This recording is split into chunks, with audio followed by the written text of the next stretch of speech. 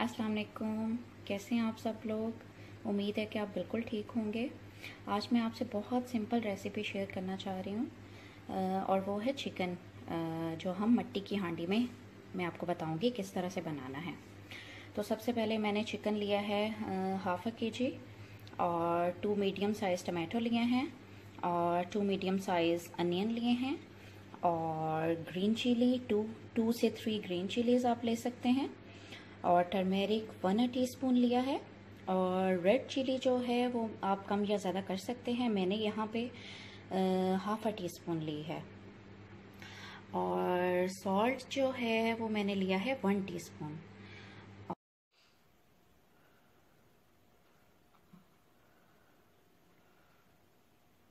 अब मैं इधर ऑयल डालूँगी सबसे पहले। ऑयल मैं लूँगी यहाँ पे। हाफ़ कप से थोड़ा सा कम लूँगी, क्योंकि कम ऑयल में ये बनने जा रहा है चिकन तो चलें स्टार्ट करते हैं। फ्लेम ऑन कर लिया है मैंने। अब मैं इसमें अनियन ऐड करूँगी सबसे पहले तो। अनियन ऐड कर लिए। अब हम इसे तब तक बनाएँगे जब तक ये लाइट गोल्डन ना हो जाए। लाइट गोल्डन हमने इसको करना है अनियन को। तो चलें स्टार्ट करते हैं।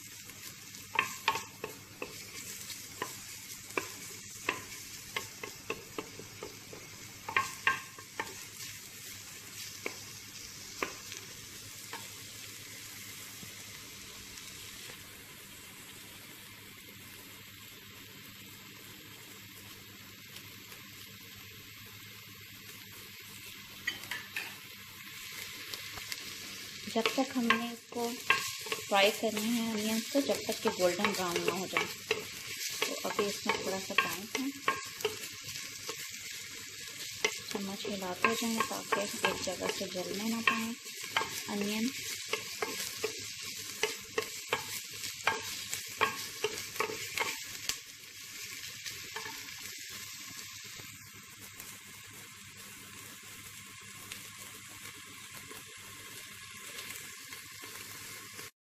सकते हैं, या आप देख सकते हैं कि प्याज हमारे लाइट गोल्डन हो रहे हैं।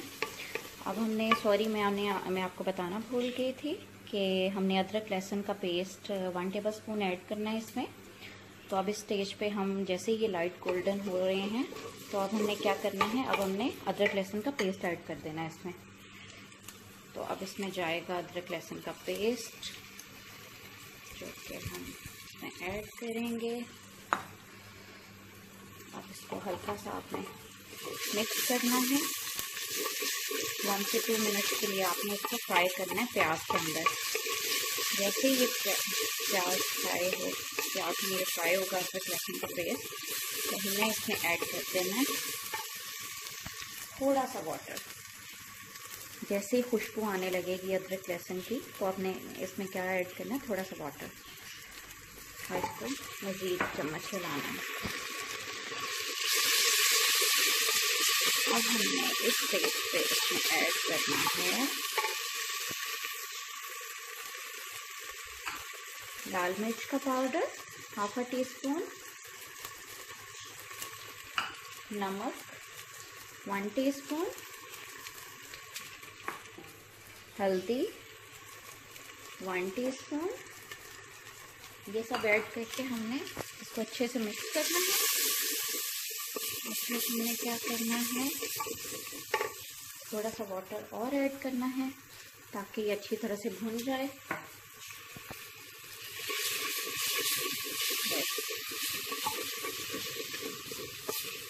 मिक्स करने के बाद हमने क्या ऐड करना है? ग्रीन चिलीज ग्रीन चिलीज डाल देंगे और साथ ही इसके टमाटोज भी डाल देना है। अब हम इसकी अच्छी से भुनाई करेंगे, जब तक इसका मसाला रेडी कर बना रहे हैं। जब ये अच्छे से मिक्स हो जाएगा तो इसमें थोड़ा सा पानी और ऐड करेंगे। थोड़ा थोड़ा पानी लगा के हल्की आँच पे हमने इसको भूनते जाना इसकी खुशबू ना आने लगे।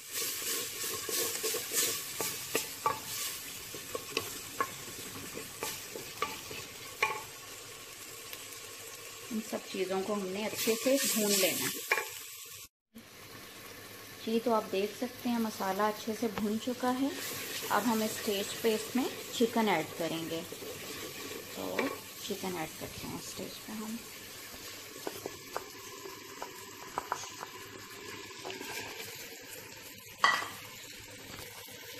अब हम इसे इतना भूनेंगे कि इसका सारा वाटर जो है ड्राई हो जाए और अच्छे से ये भून जाए।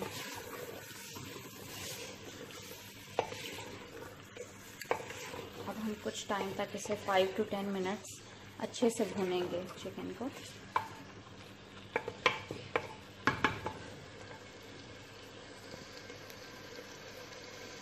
तो जी जब तक ये चिकन भुन रहा है हमने यहाँ एक छोटे सॉस पैन में क्या किया दो ग्लास वाटर रख दिया है बॉईल होने के लिए। तो ये हम इसमें ऐड करेंगे जैसे ही चिकन अच्छे से भुन जाएगा। एक तो कलर बहुत अच्छा आता है चिकन में और दूसरा टेस्ट बहुत अच्छा आता है सालन का। तो चलें हम ये फिर जैसे ही बॉयल आएगा, हम इसका वेट कर रहे हैं तो फिर हम इसमें वाटर ऐड करेंगे। ये देखें, आप देख सकते हैं हमारा चिकन अच्छे से भुन चुका है। इस स्टेज पे हमने क्या करना है? वाटर ऐड करना है, जो हमने बॉईल करके रखा हुआ है। तो हम ऐड कर रहे हैं इसमें वाटर तो अब हम इसको हल्की आँच पे इतना पकाएँगे इतना पकाएँगे कि ये चिकन बिल्कुल टेंडर हो जाएगा और नर्म हो जाएगा। तो फिर ये बहुत यमी बनता है। आप ज़रूर ट्राई कीजिएगा ये वाली रेसिपी तो अब हम इसका लिड देंगे इसके ऊपर और टू आवर्स के लिए इसको भूल जाएँगे। तो ये आप देख सकते हैं, हमारे चिकन को पकते हुए हाफ़ एन आवर हो चुका है। लेकिन मैं आपको ये मेंशन करना भूल गई थी कि इसमें हमने हाफ़ अ टी स्पून गरम मसाला ऐड करना है और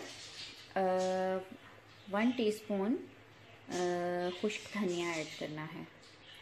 तो इससे इसका टेस्ट मज़ीद अच्छा आएगा और अब हमने इसको अगेन ढककर मज़ीद वन एन आवर तक इसको पकाना है।